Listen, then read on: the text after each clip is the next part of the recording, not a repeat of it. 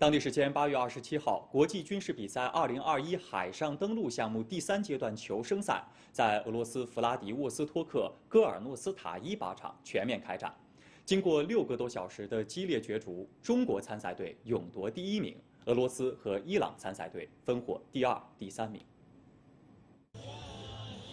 今年海上登陆项目求生赛共有中国、俄罗斯、委内瑞拉、伊朗等五个国家地区参赛。按照抽签顺序，中国参赛队第二个出场。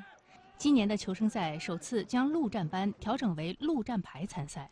赛程由前期通报的两公里增加至四点六公里。赛道位于滨海山林地，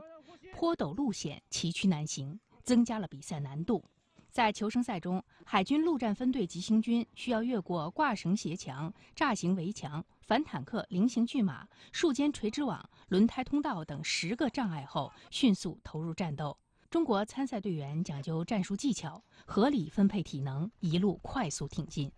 随后，在射击环节中，中国参赛队三个火箭筒靶全部首发命中，三个狙击靶命中两个，在所有参赛队中成绩最好。最终，中国参赛队以三十三分五十七秒的成绩夺得第一名。